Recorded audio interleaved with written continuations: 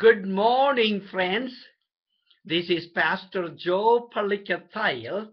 Today is Tuesday, January the 7th, 2013.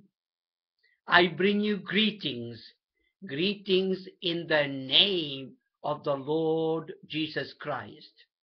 Sisters and brothers, I encourage you to open up your heart to Jesus and welcome his greetings of love. Receive his greetings of love and give that greetings of love to everyone throughout this day.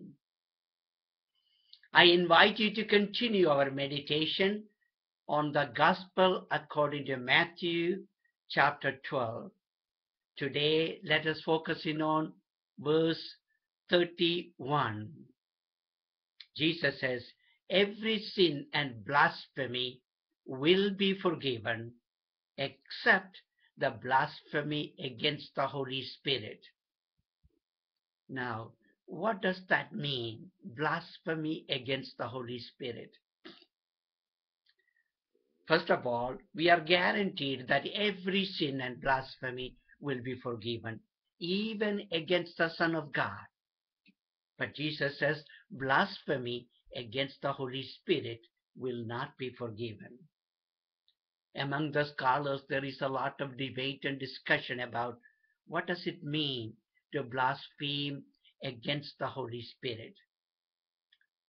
My own opinion is, or my own understanding is, blasphemy against the Holy Spirit is, in fact, blasphemy against oneself.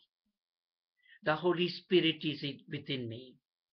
When I blaspheme the Holy Spirit, I am blaspheming myself or bad mouthing myself. That's what will not be forgiven. Sisters and brothers, how important it is for us to act and feel and speak according to the gift of the Holy Spirit. The Holy Spirit is within us that we may think good of ourselves, feel good about ourselves, and speak and act goodness and good. The Holy Spirit always guide us to good thoughts, good feelings, good uh, good action, good words. Throughout this day, let's keep on asking Jesus to reveal to us what does it mean to blaspheme against the Holy Spirit.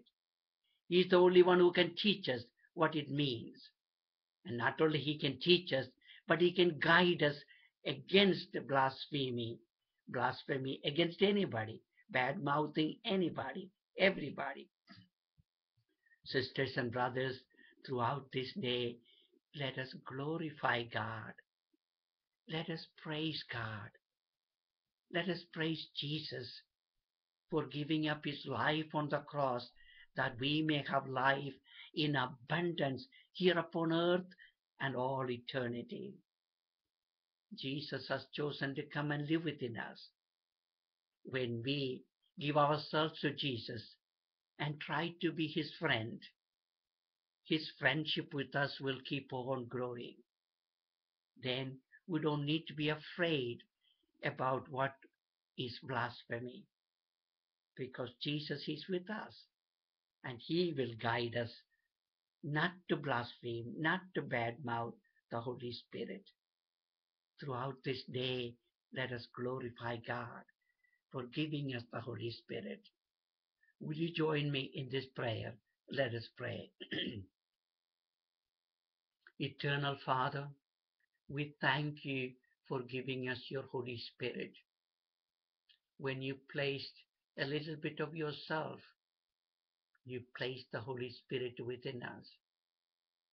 Lord Jesus Christ, we thank you, we praise you, we glorify you for giving up your life on the cross for all our sins. Oh Jesus, continue to live within us, giving us the conviction that all our sins are forgiven. Oh Lord, Help us not to blaspheme the Holy Spirit. Teach us not to do that. but glorify you, glorify the Holy Spirit, glorify the Father throughout this day, throughout our life. We ask this blessing, Father, in the name of Jesus. Amen.